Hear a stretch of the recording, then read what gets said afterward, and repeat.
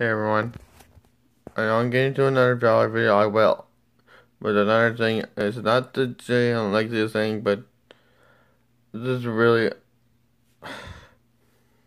there's something else on my mind. I hate racist people. I don't know why they keep keep doing this, but I'm really fed up with this. My cousin married my cousin married a black man, and the, and I'm fine with that. And I'm not and I'm not racist.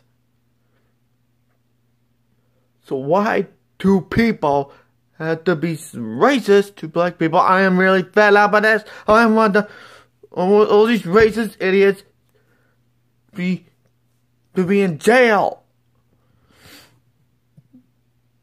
If these racist people don't get they don't they don't change their way, I swear to God there is gonna be trouble.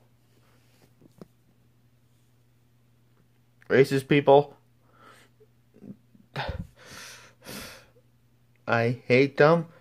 Hate, hate, hate, hate, hate them so much.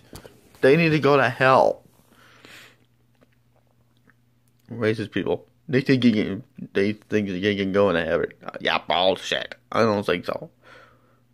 They are, they're gonna think they are going to heaven. Nope, they're not going to. They're going to hell. They keep, they keep doing this crap.